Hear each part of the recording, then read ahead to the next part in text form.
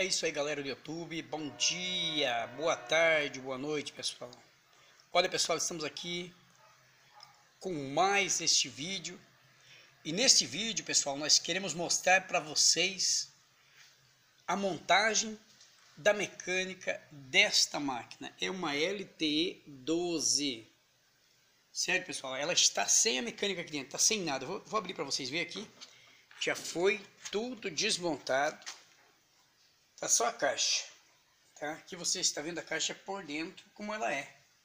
Tá? Lá no cantinho está o capacitor, aqui daqui um pouco vai ter uma máquina aí dentro. Tá, pessoal? Tá desmontada, então, esta nossa LTE12, tá? Aqui tudo tá beleza, funcionando é, a parte elétrica, ok, placa, tudo certinho. Agora eu vou mostrar para vocês aqui onde está a mecânica que nós estamos fazendo. Está para cá. Esta máquina ela já está semi-montada, quase montada. Pessoal, é o seguinte, já tiramos os rolamentos, quero até mostrar para vocês. Já tiramos os rolamentos e agora nós queremos estar mostrando para vocês, tá? Aqui vocês podem ver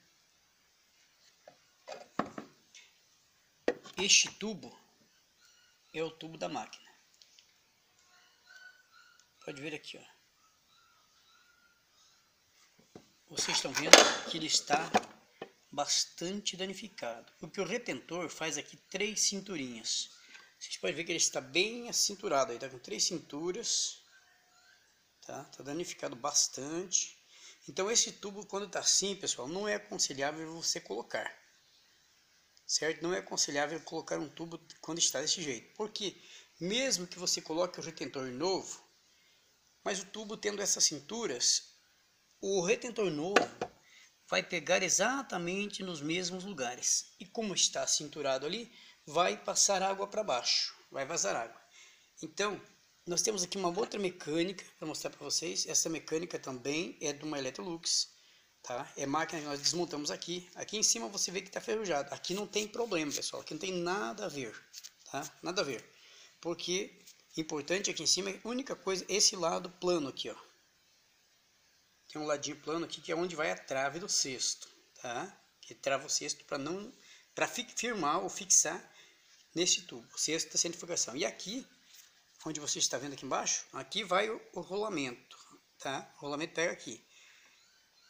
Mas aqui, aonde pega o retentor, você pode ver que está zerado, tá? Novinho, não tem cinturas, tá? Esse pedaço aqui, ó, que é o importante, está novinho. E aquele lá, como você viu, não presta. Pode ver as cinturas ali, ó.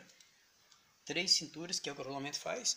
Aqui não tem nenhuma, tá zerado, tá? Esse trecho aqui. Então é isso que é importante, daí não tem perigo de dar vazamento. Então agora, Quero mostrar para todos os meus amigos aí, vocês que já conhecem, né? Que sabem, tem bastante conhecimento dessa arte, desse serviço. Não vai esquentar a cabeça em ficar assistindo meus vídeos, provavelmente. Mas tem alguém que ainda gosta, né? De assistir meu vídeo, porque a gente explica, ensina, dá ideias, troca ideias. Então agora, pessoal, quero mostrar para vocês aqui este rolamento que está aqui ele foi trocado novinho, tá? Novinho. Aqui tem uma sujeirinha que você vê, porque normalmente no tubo tinha uma sujeirinha nessa base também, mas o rolamento aqui é novinho, tá? É um 6006, tá? É o rolamento 6006 que vai ali. Então agora eu quero mostrar para vocês, vou, estar colocando este esse tubo eixo, tá? Esse tubo aqui. Esse tubo tem que colocar sempre com cuidado, pessoal, para não prejudicar alguma outra coisa, para não prejudicar tem que colocar com cuidado para não prejudicar o retentor que está lá embaixo, né? Então vamos colocando ele certinho, tá? Tem que ter cuidado para não prejudicar o retentor, porque se prejudicar o retentor, vai vazar água depois, tá?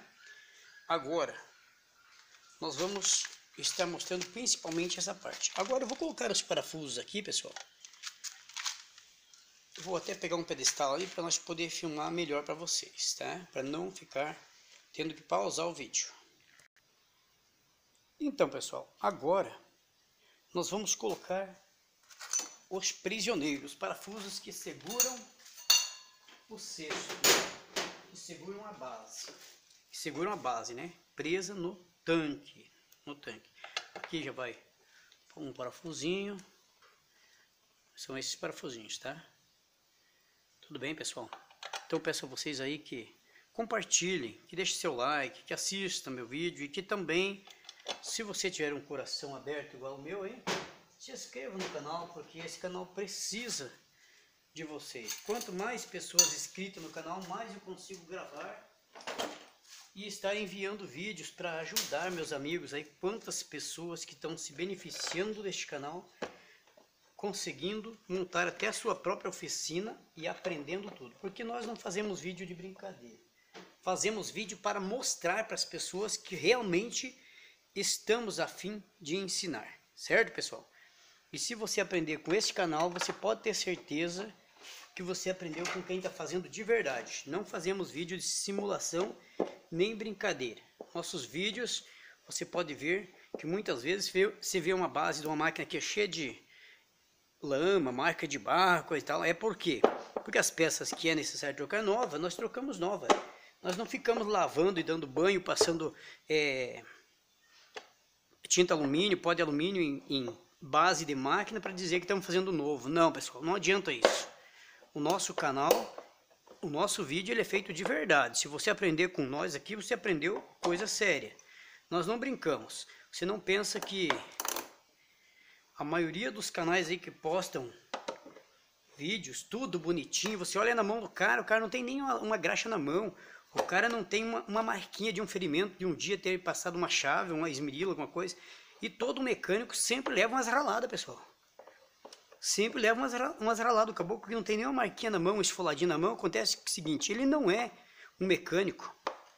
Não é mecânico. O cara que dizer que não leva uma ralada de vez em quando, com uma chave, com uma, um pedaço de ferro, com uma coisa ou outra aí, ele não é mecânico. O mecânico sempre leva umas bordoadas. Então vou dizer para vocês, ninguém pense que esse serviço aqui é serviço de criança, que é serviço de quem quer trabalhar de quem quer, tem condições, força de vontade e deseja trabalhar. Então, pessoal, nós fazemos vídeo real, não é brincadeira não, certo? Então, se você aprender aqui com nós, você vê mãos calejadas, não é brincadeira no nosso serviço aqui, não é porque eu tô com a mão suja de graxa, aqui tem corte, pedaço de unha, tem unha que não cresce mais, olha aqui, ó. Isso aqui sempre cresce um pedaço do lado que tem que cortar com um alicatinho, porque foi um esmeril que pegou, cortou um pedaço de três dedos numa pancada só, uma e meia da manhã uma e meia da madrugada, estava ainda consertando, pessoal. Então, galera, nosso serviço é assim, é trabalhado mesmo, não brincamos de consertar máquina. Então, eu quero mostrar para vocês, eu não desprezo ninguém, sabe, pessoal? Não, não contrario ninguém também, cada um faz o que quer. Só que eu gosto da verdade, o meu trabalho é honesto e é sério. Não brinco de, de fazer vídeo e não faço questão de brincadeira. Então, eu, tem algumas pessoas que comentam, aí tem comentários de todo tipo, sabe, pessoal? Tem um que gosta, outro que não gosta.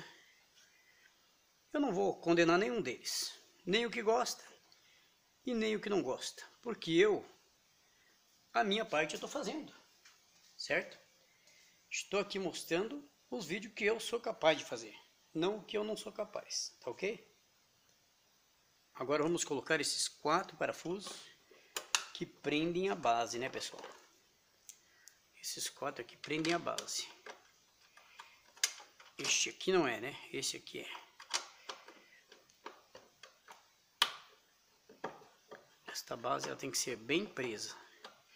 Porque é muito importante que você prenda bem essa base para não, não acontecer de mais tarde afrouxar e você ter problema, né? Com o serviço que foi você que fez muitas vezes no tirar essa base força um pouquinho às vezes fica meio torto daí ela na hora de você colocar de na hora de você colocar ela não aceita muito bem os parafusos então tem que ter um pouco às vezes aí mas dá tudo certo pode ter certeza que vai sempre dar certo se você tiver vontade de trabalhar olha aí pessoal estamos aqui, aqui acabando de montar né essa parte da base aqui Agora estamos colocando os parafusos de chave 13, né? E rapidinho vai estar pronta a nossa máquina. Vocês já estarão acompanhando nosso vídeo, se Deus quiser, dentro de poucos minutos. Que todos vocês têm o direito de ver como montar, como desmontar. Vocês que são inscritos neste canal, para mim vocês são as pessoas mais importantes, porque vocês estão dando crédito ao meu trabalho e me incentivando a gravar mais.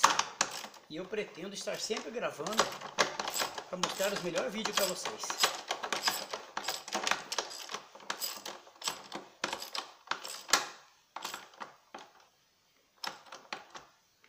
Aí pessoal, rapidinho, eu quero pedir para vocês que se inscrevam no nosso canal, que você deixe o seu like, que eu possa contar com você a partir de hoje, que você seja mais um inscrito no canal.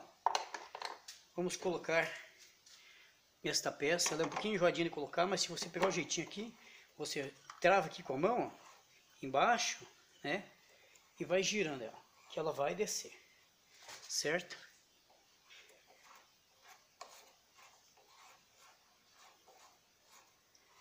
Às vezes ela enguiça um pouquinho. Se ela enguiçar um pouquinho, você faz isso aqui, ó roda ao contrário e traz essa bucha bem para cá, tá? Que daí ela vai se ajeitar e vai encaixar certinho ali para você poder fazer ela descer aqui, ó.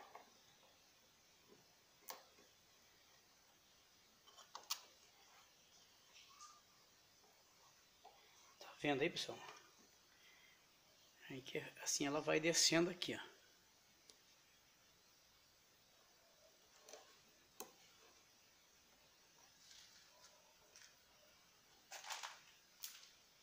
Olha aí, já encaixou, né? Dá uma seguradinha nessa do meio e vai girando ela. Ela já foi até o final. Já não tem mais o que ir, né? Beleza. Agora, vou ver se está tudo certinho, né? Pessoal, temos que conferir. Porque essa peça aqui tem que trabalhar, né? Agora vamos colocar essas partes aqui.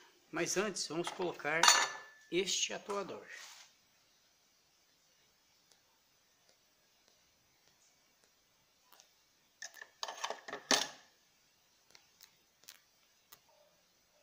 Esta peça tem que ter bastante cuidado para colocar, porque ela é carvão e é seca. Ela pode quebrar, então você vai colocando com jeitinho, afirmando, usando as duas mãos. E agora você tem a a liberdade de colocar alguma ferramenta aqui atrás e puxar ele para travar aqui, tá? Esse, esse não é, eu falei atuador, não é atuador. O nome desta peça aqui é braço ejetador, tá? É um braço ejetador. Esse que faz a transformação aqui de lavar para centrifugar, muda. Por exemplo, na hora de centrifugar ele vai puxar aqui certo? Agora você faz isso aqui, puxa ele para cá e coloca aqui, pronto. Tá ok, pessoal? Então vocês estão vendo que estamos quase concluindo aqui, que rapidinho vai ser a conclusão do nosso vídeo. Rapidinho, não vai demorar, pessoal.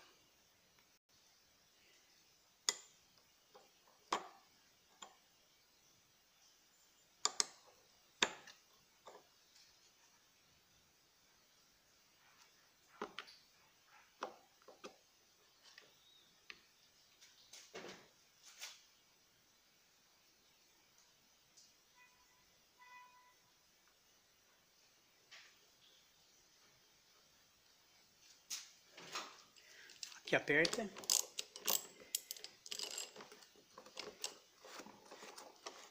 Essa tem que apertar bem, pessoal. Bem firme, para que não aconteça de amontoar aquela embreagem que está lá embaixo, né? Ficar livre, livrezinho, olha aqui, ó. Se eu soltar o braço, aí roda tudo lá embaixo, tá? Se eu soltar ele aqui, pessoal, eu quero que vocês entendam essa parte. Eu vou ter que explicar melhor aqui. Olha aqui, gente. Olha aí aquele dentinho de pato ali, ó, chama de bico de pato, né? Pato não tem dente, o bico de pato, aquela pecinha que está no, no braço aqui, ó, aquela branquinha, faz uma função importante, ó. Você tem que rodar a máquina quando monta, assim, ó, livre para lá, livre para cá, porque ela trabalha assim. Se te, não acontecer isso, pessoal, não monta porque tá errado. E quando esse braço vem para cá, aí roda a parte de baixo também lá. Olha lá. Lá dentro, tá? Roda tudo. Agora quando o braço vai, daí para lá embaixo, ó. Roda em cima e lá embaixo não. Tá ok? Se funcionar desse jeito, tá perfeito. Tá ok? Um abraço. Agradeço vocês por curtir meu vídeo. Esta montagem eu queria mostrar para vocês. Tá montado, tá ok, tá pronto. Agora é só colocar a correia, mas a parte que eu queria mostrar, já mostrei. Muito obrigado e até o próximo vídeo. Um abraço, deixa seu like, se inscreva no canal e eu agradeço vocês.